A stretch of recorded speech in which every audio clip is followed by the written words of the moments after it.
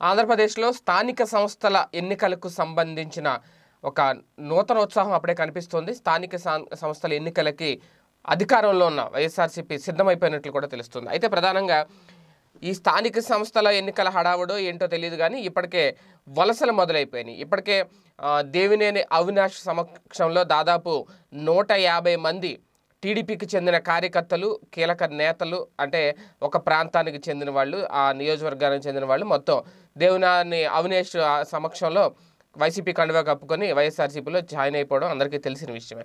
అయితే ఇప్పుడు ఇదే బాటలో ఎక్కడైతే ఇప్పటికే తెలుగుదేశం పార్టీ ఎక్కడైతే స్థానాలను సంపాదించుకుందో ఆ ఇరవై రెండు స్థానాలను అక్కడ ప్రధానంగా వైఎస్ఆర్సీపీ ఆ స్థానాల మీద గురిపెట్టింది.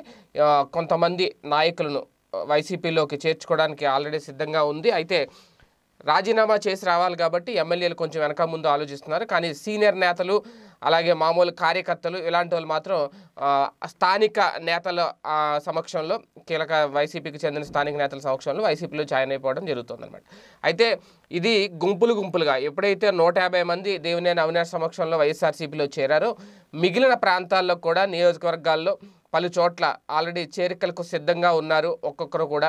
అది కూడా రేపు జనవరి ఎనిమిది తొమ్మిది లేదంటే పది తేదీల్లో ఖచ్చితంగా నోటిఫికేషన్ వెలువడిన నేపథ్యంలో నోటిఫికేషన్ వెలువడిన తర్వాత ఎన్నికల తేదీ ప్రకటించడం జరుగుతుంది. ఎన్నికల తేదీకి ముందే ఈ చేరికలు పూర్తయిపోతాయి. దాని ఆధారంగా స్థానికంగా ఉన్న ప్రాంతాల్లో వైఎస్ వైఎస్ఆర్సీపీ బలం పెంచుకునేందుకు ఈ ప్రయత్నాలు అనేది ఒక ప్రాథమిక సమాచారం. ఇదే సమయంలో ఈసారి ఒక పగడ్బందీగా ఎన్నికల వ్యూహం రచించబోతుంది వైఎస్ఆర్సీపీ స్థానిక సంస్థలకు సంబంధించి. గెలిపే ధ్యేయంగా ముందుకెళ్తున్న తరుణంలో ఎలా అయితే జనరల్ ఎన్నికల్లో సాధారణ ఎన్నికల్లో నూట యాభై ఒక్క స్థానాలు సంపాదించుకుందో అలాగే ఇప్పుడు రేపు జరగబోయే ఎంపీటీసీ జడ్పీటీసీ ఎంపీపీ ఈ ఎన్నికల్లో కూడా మున్సిపల్ ఎన్నికల్లో పూర్తిగా విజయం కైవసం చేసుకోవాలనే దిశగా వ్యూహాలు పన్నుతుంది అందులో భాగంగానే ఈ వలసలను ఎక్కువ ప్రోత్సహిస్తుంది కార్యకర్త స్థాయి నుంచి. ఎందుకంటే లోకల్లో బాగా ఎక్కువ కాబట్టి లోకల్ ఫ్లేవర్ ఎక్కువ అవసరం కాబట్టి మున్సిపల్ ఎన్నికలకి.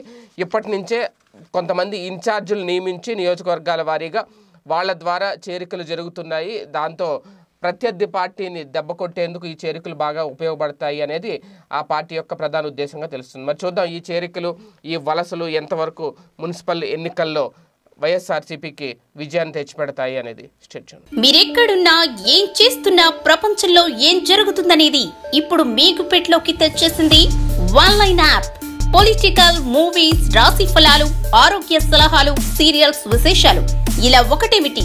బోలెడన్ని విశేషాలను మినిట్ టు మినిట్ మీకు అందిస్తుంది one line app. So late ఎందుకు? డిస్క్రిప్షన్లో ఉన్న లింక్ ద్వారా వన్ లైన్ యాప్ డౌన్లోడ్ చేసుకోండి. One line it's for every